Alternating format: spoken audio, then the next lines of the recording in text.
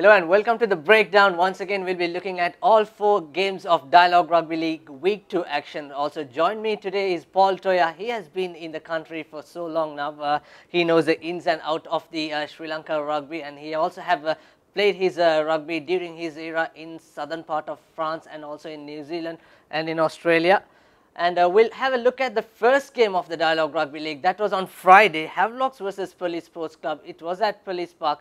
Police was struggling in the first game and they came back uh, into the second half because they were scoreless. Havelocks leading 23 points to nil on that first game. Paul, your thoughts on that game?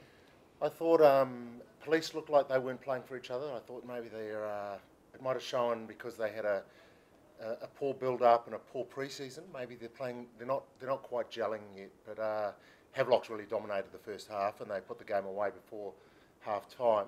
Um, Havelocks look like they're on their, they're on their game.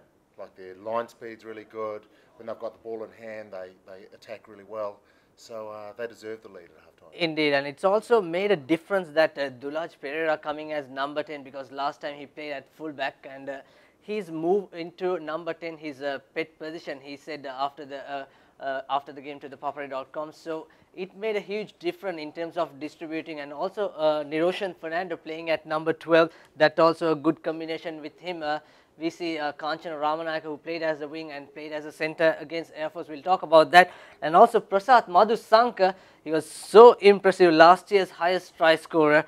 You saw that gates are open, he saw the space, thank you very much. He scored two tries. He probably could have gotten three, just like the, the ball just flicked off the end of his finger and he, he might have gotten that intercept. But that's, that's the speed he has. Off the mark, he's very fast.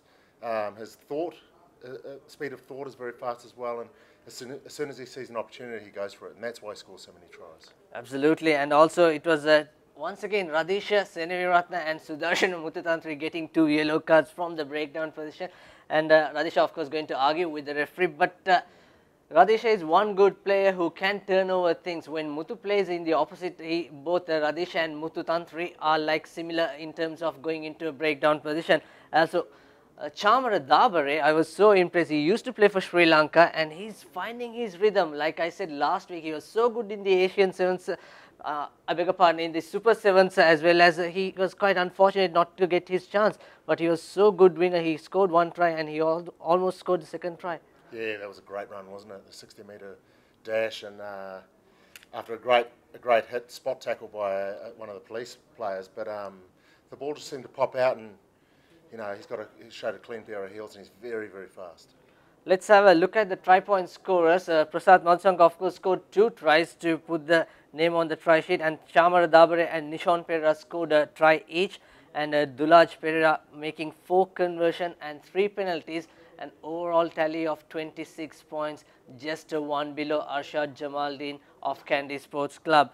And uh, moving on to the next game that we had, Army versus CH&FC on Friday as well. Uh, Army 39 points to 12. CH&FC managed to score their first try. Credits uh, to Mohammad Rifkan, their loose forward. And uh, talking about that game, Paul? I thought um, CH&FC looked a little bit lost, to tell you the truth. Um, Army really just put them to the sword, and, uh, and that's why they scored 39 points. It, was, it seemed to be a bit easy for Army. Yeah, what do you think about in terms of when you concede so much points, 96 points in the first game, but you're scoring 12 points in the second game and conceding pretty less? I think um, the coach has obviously done some work on their defence.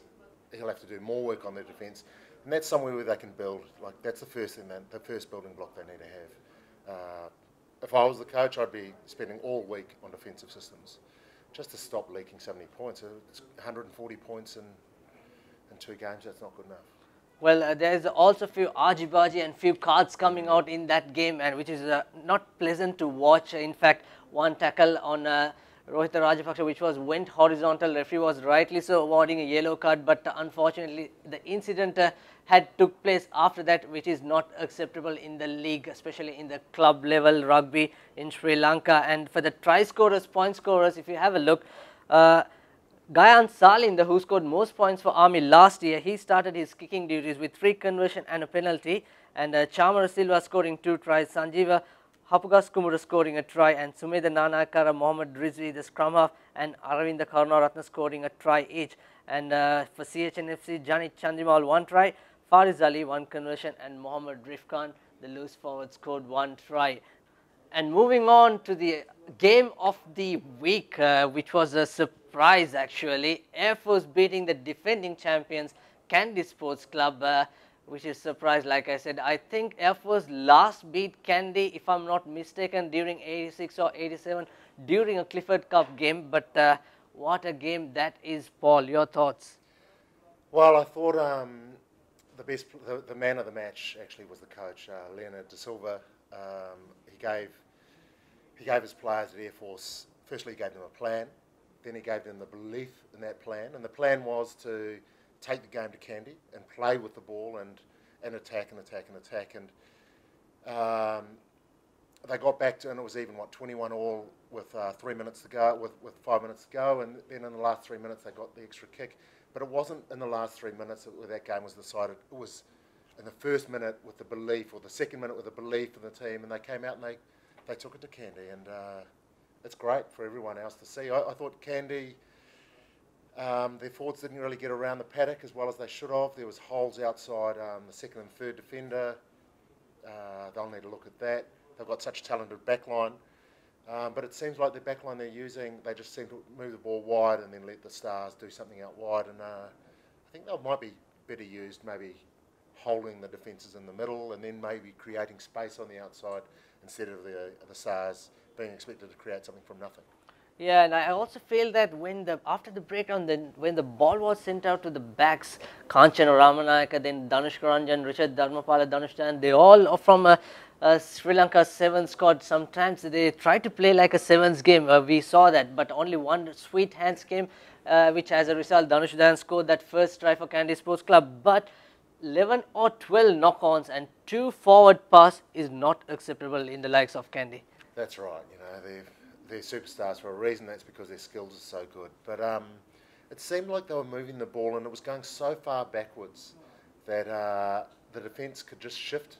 They just Quickly drift. rush into them, yeah. Yeah, well, they were just drifting wide and um, and then when they got it out wide, they just didn't have the numbers. Like they... Uh, they didn't have the space or the numbers, and the defence was there to take care of that. But that would have been put in place by the coach. Uh, Silva put, would have put that in place for, for Air Force, and they came up with it, and uh, they executed the plan really well. Yeah, Air Force uh, led the game 14-7 at the halftime. Then when Fazil Marija came in the second half, he assisted one try and he scored one try. Then it was 21 all. Then Air Force uh, nerves must be on the stands like, I don't know what's going to happen, but it was so good game. Charit Seniratne putting a beautiful uh, penalty kick on the 72nd minute, which gave them the confidence. And especially Ashok Vijayakumar must mention a debutant uh, starting his first game for the Air Force. He controlled the game. He showed that he has the maturity with to play the schools rugby and come to the club rugby and debut. That's yeah, yeah. He's got a great future ahead of him. He um, has got a very mature head. He knows when to speed the game up, knows when to slow it down, but he also calls his forwards into the game and. Uh, I think they attacked that the channel just a little bit wider of, uh, of, of, a set piece play, um, where Kandy were a little bit lost, I thought, and so he controlled that well. Yes, uh, and also one thing must say, after all those stop play, uh, Paul, like I said, 12 knock-ons and 2 forward passes, the game time is very little, probably 20 or 25 minutes, uh, uh the real game time. Uh, and from that, Air Force, like you said, credit to coach Leonard De Silva, they just played the territorial game come into the opposite half then from their attack. Even after they scored uh, the point 7 all and they had a kickable penalty for 30 meter, instead going for the uprights, they went for the touch and they had so much belief and confidence to drive the Kandy uh, Kandy uh, front row. That's right. Um, Kandy have got a great set piece. Uh, don't get me wrong, they're, they're very good at line outs and scrums, but um, if you want to frustrate them, you just get sneak a little bit ahead like uh, Air Force did, and then the stoppages and they slow the game down, and it just frustrates players. And, and once you get frustrated, it's difficult to play a natural game, and that's, that might have had some sort of contributing factor towards the so many knock-ons and just so many uh, basic errors, I suppose, from Kandy. Let's have a point scorer names uh, for this game. Uh, Ishara Madhushan, Lahiru Udyanga and Ramdas Ramesh scoring for Kandy and Charit Seniviratne, three conversion and a penalty, all three conversion from the wide angle which is good to see. And uh, for Kandy, Danush Jayan, Shashika Jayawardhan and Fazil Marija scoring a try. Arshad Jamaldeen, Kanchana Ramanayaka and Marija putting a conversion each. And for the, without a doubt, the player of the match, I thought uh, Saraka, the number 8, Air Force number 8 did really well, but uh, Ashok Vijay Kumar from his debut game, he controlled and he showed his maturity and he won the deserving man of the match uh, on that game. And uh, moving on to the next game, which we had on Sunday at Welisara, CR&FC versus Navy Sports Club. It was a close half, 6 points to 7, Navy leading in the first half, but uh, from second half onwards, Navy changed their tactic. They played according to their strength, using their forwards in the likes of uh, uh, in the likes of Dulanjana Wijesinghe and uh, also Satya Ranatunga coming in, also Nivanka Prasad. But uh, they pretty much in the standing commanding lead in the second half part. Yeah, so I thought uh, CR&FC, um, that's another team like Police that look like their team spirit's not quite right. Um, it's hard to say if you're not in, in, in, the inner circle of the team, but from the outside it looks like they're not quite playing for each other and they're not they're not quite gelling yet. Um, it looked so. What it looks like for us when you watch the game is it just looks like they're a little bit disorganised. So when you have a good team spirit and when the players play for each other, it looks like they're really organised and they, they move up in a defensive line together. When they don't have that link, it's difficult for them. Uh, whether it's uh, the team spirit's not there or whether it's there's a little disconnect between the players and the coach, or it's hard to say. But um, and let's have a look at the try point scorers for this game. Uh, Nivanka Prasad, Navy number 8, scoring one try. Lahiru Herath uh, coming from second half. He, got, he was sin bin, in fact, before the halftime. And he immediately make, made an impact in the second half. And Charit Silva also scoring a try. Tilna Veerasinghe, last year's highest point scorer, scoring three conversions. And for CR&FC, uh, only the one consolation try uh, that was a last minute try by Sashan Mohammed and Riza Mubarak making that conversion and two penalties under his name. And player of the match is Dulanjana Wijesinghe, the Navy hooker. But uh, talking about this game, Paul, uh, Navy, clearly they were trying to play like what CR are doing. We saw the Sia's come up from the base. He made the territorial kick and tried to come into the opposite half. Navy also did that plan, but it didn't work for them in the first half. But in the second half, it was very clear they have forwards coming into numbers and they're making lots of faces. But I was surprised also Costa didn't have a good game. He didn't have a good game like the first game where he made a man of the match, stellar performance. But uh, he should, maybe uh, coach Ben McDougall should have given a chance to Avish Kaheen Palla to come and have a go for like 20 minutes or next last 15 minutes. Yeah, that's right. It's always good to, to, to, bring those, introduce those players. But what I did, I did like what the coach did was uh, change the game plan at halftime. Whether it was the leadership group of the team or coming in, or whether it was the coach that uh, that made that change. But uh, that's a that's good for coaching um, to make a, make a change and having a positive effect. And uh, also talking about uh, Richie Dharmapal, he is also showing some good sign controlling the game and showing some maturity and his combination with Chanak Chandimal, the fly half, it is also nice because Chandimal, whenever he gets the ball, he knows how to sneak through and he knows when to put the territorial kick. So that's a plus point, the half combination for any yeah, team. Yeah, that's right. So what you need to do is, is when you're receiving the ball at 10 or fly half, um, the picture that's planted in front of you, whether the players are rush, rushing at you or whether they're all looking out, out, out wide to drift, that's when you make the decision whether you run through the hole, whether you make a kick, whether you pass. It's all, it's all made on what's in front of you, and so he's playing what's in front of him.